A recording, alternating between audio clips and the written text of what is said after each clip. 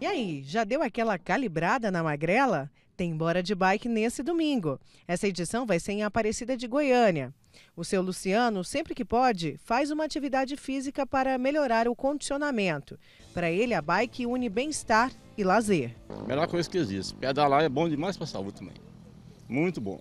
Aparecida de Goiânia tem hoje 70 quilômetros de ciclovias e ciclofaixas. Receber um evento como o Bora de Bike ajuda a espalhar a importância do pedal na vida das pessoas, além de ser uma opção sustentável.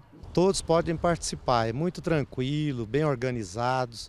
Né, vamos ter a participação, vamos ter o pessoal do bombeiro acompanhando, então vai ser uma coisa bem tranquila, né? Eu mesmo vou participar e convido você que venha participar conosco. A concentração e a largada vão ser daqui, da Praça do Índio em Aparecida de Goiânia. Vai ser a primeira vez que as pessoas vão fazer o trajeto do eixo leste-oeste 1. Esse trecho da ponte ainda está em obra, mas domingo, no dia do Bora de Bike, estará liberado. Talvez seja o ponto mais difícil do percurso, porque tem subida e descida. Mesmo assim, vai ser muito fácil para os ciclistas. Mas para os que se sentirem cansados, o ponto de hidratação vai ser bem na metade do trajeto, na rotatória que fica próximo ao fórum. Além desse ponto de hidratação, os ciclistas vão contar ao longo do percurso com apoio da Unimed Goiânia e também do Corpo de Bombeiros. Daqui, eles também vão fazer o retorno de volta para a Praça do Índio. Ao todo, o trajeto vai ser de quase 14 quilômetros. Nós temos mais de 70 quilômetros hoje de ciclovias e ciclofaixas. Na verdade, os nossos polos hoje todos já passam por esse processo, né?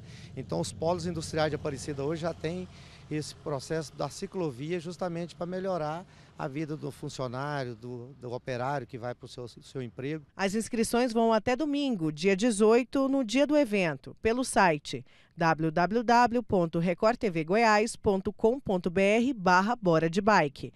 Lembrando que é tudo de graça. Mas corre, que apenas os mil primeiros inscritos vão ganhar um kit com mochila, camiseta e garrafinha, que deve ser retirado no dia do evento a partir das 7 horas da manhã. Além disso, vai ter sorteio de bike da Fernando Bicicletas. Então tá esperando o quê? Bora de bike?